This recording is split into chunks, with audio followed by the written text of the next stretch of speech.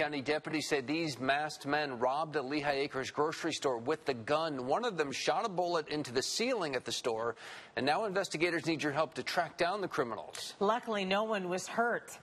NBC2 Sarah Metz is working alongside investigators to gather new information outside the store on Gretchen Avenue off Gunnery Road.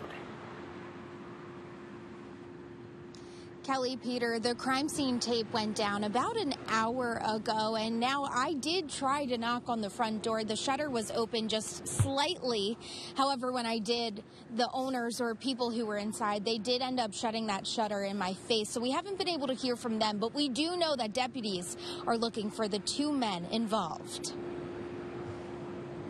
They came in there with, with violent intentions, um, aimed at getting the money regardless of what it took.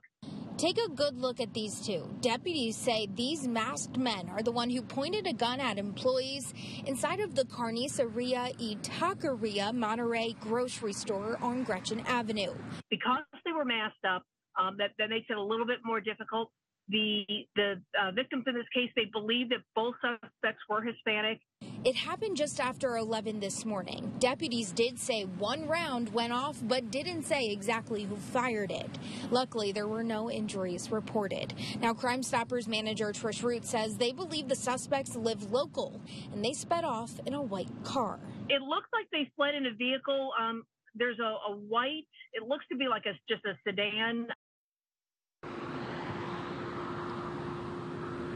Yeah, this is that white car that Trish was talking about there. Deputies say if you recognize this car or know who those men were that we showed you in that picture earlier, you're asked to call Crime Stoppers. Crime Stoppers, excuse me. We're local today from Lehigh Acres. Sarah Metz, NBC2.